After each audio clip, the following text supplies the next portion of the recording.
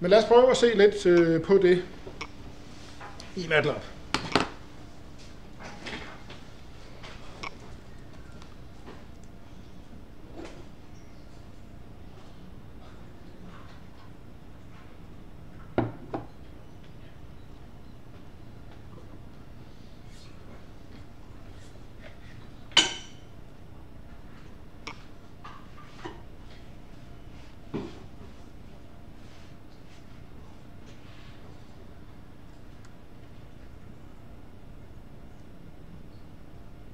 Okay, så hvis I har åbnet jeres øh, standard øh, vindue, og går ned i command vindue og skriver guide, så popper den her lille øh, boks op. Og der er det som sagt, der kan I vælge mellem nogle templates, hvor der allerede er sat lidt ind på forhånd, men jeg kan også bare vælge at lave en ny. Eller I kan jo også sige Open Existing, og så står alle de dem, der I har åbnet indtil nu. Men I kan også trykke Browse og åbne en helt anden, hvis det er det, I har for. I det her tilfælde vælger jeg bare at sige Create New, og jeg trykker OK. Og så popper den op med det her Design Environment, som jeg lige viste jer. I kan resize jeres applikation hernede. Den viser jer koordinaterne hernede, øh, hvor I er hen hvis I får behov for det. Øh, og herude der har jeg min objektbrowser. Og nu skal I lige huske, hvad det var, jeg havde tiltænkt her. Det var bare en knap og en testbox. Yes. Så hvis jeg vil indsætte en knap, så trykker jeg på mit knapværktøj. Der står også, hvis jeg holder hen over det, push-button, og jeg tegner bare en knap. Og der står meget sigende, push button. Men det er det, der står som standard. Jeg skal ikke gøre noget andet, hvis jeg gerne vil noget til at ske. Så er der to forskellige former for tekstbokse. dem vender jeg tilbage til lige om lidt, hvad det er, de gør. Men i det her tilfælde, så vælger jeg bare den ene type og tegner en tekstboks. Hernede og igen, så står der en standardtekst. Hvis I øh, bare klikker på den ene, så kan I se hernede af, der står der et tag, og tagget igen, det var dens navn. Det er det, som MATLAB kender den her dims under. Og som sagt, pushbutton 1, det er med et meget generisk navn. Det er meget svært for jer at huske, hvad delen det er, det her det helt nøjagtigt siger. Øhm, nu kunne jeg så dobbeltklikke på min pushbutton, og så åbner den her inspektor, som jeg også gennemgik lige før. Så i den, der har jeg alle de muligheder for at interagere med den, inklusiv det, der hedder tag. Og som sagt, det er det første, jeg altid vil bede om at ændre væk fra det der generiske navn til et eller andet, der vil sige noget mere.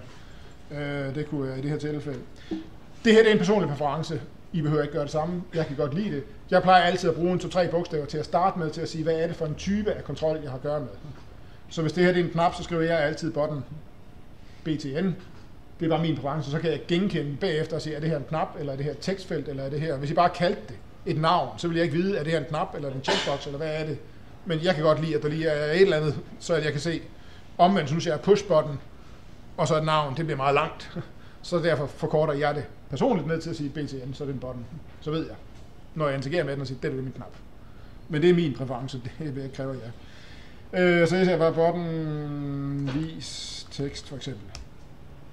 Og I kan se nede i mit tag, det er ændret. Og vi kunne ned og tage den anden og sige, det her det er så et tekst output. Så den tag, tag det bliver så en uh, tekst output for eksempel, whatever. Nu kan vi starte med, eller vi kan bare lade den stå med static text sådan set, men pushbutton, det kunne godt være, at jeg måske vil ændre på det, øh, der står i den. Så jeg kan dobbeltklikke på den og gå ned under string og sige, vis mig en tekst. Sådan. Og så kan I se, så ændrer den sig heroppe af. Det kunne også være, at jeg synes, ah, det var lidt fesen med større skriftstørrelsen, jamen så kan vi gå ind og ændre på den tilsvarende. Det er sådan set øh, det. Øh, hvis jeg så trykker gem,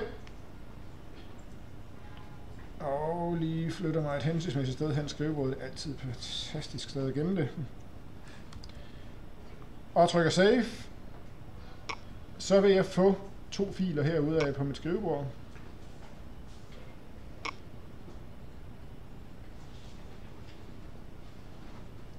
Nemlig demo fig og demo m. Og den åbner så også min demo m-fil, og i den der vil jeg så kunne se øh, den kode, den er lige forløbig autogenereret for mig.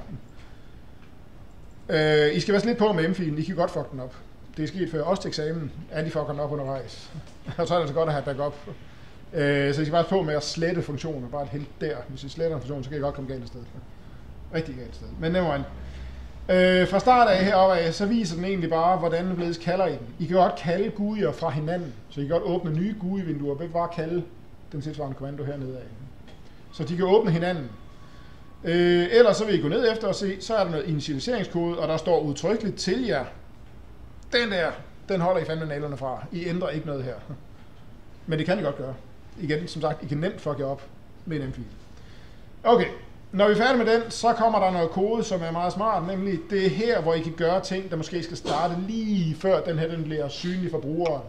Det kunne være, at den skulle initialisere et eller andet, whatever. Jeg aner ikke, hvad den skulle. Men det kunne også godt være, hvis det nu var noget, der havde kaldt et andet GUI fra jeres GUI, at den skulle overføre nogle variabler for eksempel dertil. Og måske lige processere dem og lægge dem ind rigtigt, eller gøre et eller andet med dem. Jamen så har I en sædvanlig var ark, ind, altså input arguments, som I kan tilgå her og få dem lagt ind i den struktur, det nu skal være i. Så her kan I gøre nogle ting, der skal ske, før brugeren faktisk får se jeres GUI. Og her der er egentlig bare output, og sige, når I så er helt færdige med jeres øh, program, og det lukker ned for det, jamen er der noget, den skal spytte videre, så kan I tilgå det her. Men ellers, så kommer hernede efter, afhængig af hvilke elementer I har lagt ind, en hel række af funktioner, der bare hører med den enkelte hvad hedder det, øh, objekt, I serverer. I det her tilfælde har jeg sat to objekter ind. En label eller en edit tekst, nej, en static tekst, undskyld, og en knap. En static tekst, den kan ikke gøre noget. Altså der er ikke noget callback til den, fordi du kan ikke skrive noget i den. Det er det, der er funktionen med den. Det vender jeg tilbage til i et øjeblik. Så derfor er der altså ikke nogen tilhørende funktion til den som default. Vi kan godt lave det. Det vender jeg tilbage til i et øjeblik. Men som standard er der ikke noget. Men der er en knap, og en knap skal I næsten altid på en eller anden måde kunne trykke på. Og hvis I trykker på knappen, så skal der gerne ske noget. Så derfor ligger MATLAB som standard en funktion ind, når I kommer en knap ind og siger, Æh, hvis jeg trykker, som der står execute som button press, på den knap, så er det den kode, der står hernede, der kører.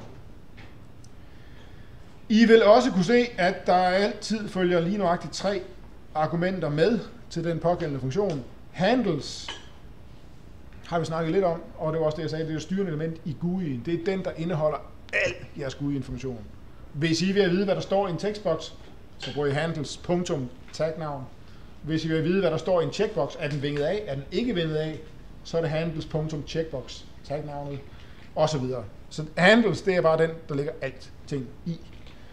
Så er der H-objekt, det er bare et, hvad skal man sige, øh, en genvej til den nuværende element. Så hvis det, er, hvis det er den her bottomvis tekst, jeg står i, så vil H-objekt og handles.bottomvis tekst være en og samme ting.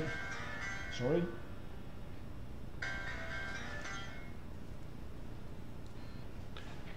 Så vil øh, handles punktum tekst og H-objekt være en og samme ting. Så H-objekt er bare en nemmere måde at skrive handles punktum tekst på. Så H-objekt det er altid bare et lokalt objekt, I lige har kaldt. Det giver ikke så meget mening nu her, at det kommer til at gøre lige med øjeblik. Event data. lige siden jeg begyndte at undervise i MATLAB, så har der stået lige nøjagtigt den her sætning. To be defined in a future release of MATLAB. Den bruges ikke til en skid, og det bruges nu stadigvæk ikke fire år længere fremme. Ja, det er, den er der bare. Muligvis bliver den brugt til noget på et tidspunkt, så I skal bare vide, den er der, men den bruges ikke til noget. Øh, nu kunne jeg så lige foregribe begivenheden bare en lille bitte smule og sige, når jeg trykker på den der vis tekst, så vil jeg til at vise noget tekst, for eksempel. Og øh, syntaksen, det er øh, de her set og get kommandoer, vi faktisk har brugt tidligere, fordi nu hedder det handles det hele, og når det er et handle, så er det set og get kommandoerne, som vi har brugt tidligere også. Så i det her tilfælde, så vil jeg sætte en tekst. Det skulle så være handles. Åh oh, gud, nu har jeg fucket mig selv op. Det var txt output, tror jeg, det var, jeg kaldte den. Komma, hvad skal jeg sætte for en property? Det skal være min string, altså teksten, der står i den. Hvad skal jeg sætte den til? Øh, for nu at citere min datter, som elsker den her sætning lige for tiden, så bliver det bage, bage, busse. Sådan der. Og så har jeg gjort det. Så nu gemmer jeg bare min, øh, hedder det, M-fil, og så kan jeg skifte tilbage i min øh, GUI editor og prøve at trykke run. Og så starter den et programvindue, hvor der bare er de her to ting, og som default står der altså bare en static tekst, men trykker du på knappen, så skriver den, hvad jeg nu har sagt, den skal skrive der. Så den måde kan det tilgås på. Jeg kan, mens det her program kører, godt gå ned i min kode og sige, nej, i virkeligheden skal der stå EU, eller hvad det egentlig det kunne være. Gemme den kode, gå tilbage igen i mit kørende program, og tryk på knappen, og så ændrer den altså det her nedad. Så I kan godt ændre jeres kode dynamisk. Men lad os nu sige, at I pludselig vil have et tekstfelt mere på, og I går ned i jeres GUI-editor og laver et tekstfelt, så bliver det altså ikke reflekteret op i jeres kørende kode. Så hvis I ændrer i jeres fig-fil, så er I nødt til at lukke ned og starte op igen. Hvis det bare er kode, så kan I køre det lige så tosset vil. Det er skidesmart i forhold til debugging, at I bare kan gå ind og ændre i koden hele tiden, mens den faktisk kører, så I ikke behøver at lukke ned og starte op og lukke ned og starte op konstant. Så det kan I sagtens gøre. Men I skal bare lige passe på, for hvis I ændrer i jeres fik-fil, så er I altså nødt til lige at lukke ned og starte op igen. Var der et spørgsmål, eller? Nej. Ja. Hvis man øh, i stedet for at gå ind, ind i M-filen og ændre til EUBEO, men så ændrer det ind i en der guide under properties for den tekstfil. Det kan du sagtens gøre, og hvis jeg gør det, det vil jeg gøre, det er udmærket input, så lad os nu sige, at jeg lige sletter den der igen, og går ind her, og går ned og ændrer string her til at sige... Mens den kører. Hvis jeg gør det, mens den kører, jeg ændrer på min fig-fil. Den ændrer ikke en skid. Okay. Jeg er nødt til, hvis jeg ændrer på min fig-fil, så skal du lukke ned og starte op igen. Ja, okay. Men den tekst, der står her, det vil være en starttekst. Så du kan lige gøre det, du beder om egentlig. Yep. Og køre den, jamen så står der en starttekst herinde, øh, som er... Der. Jeg fik åbenbart ikke gemt ordentligt, kan jeg se på det hele.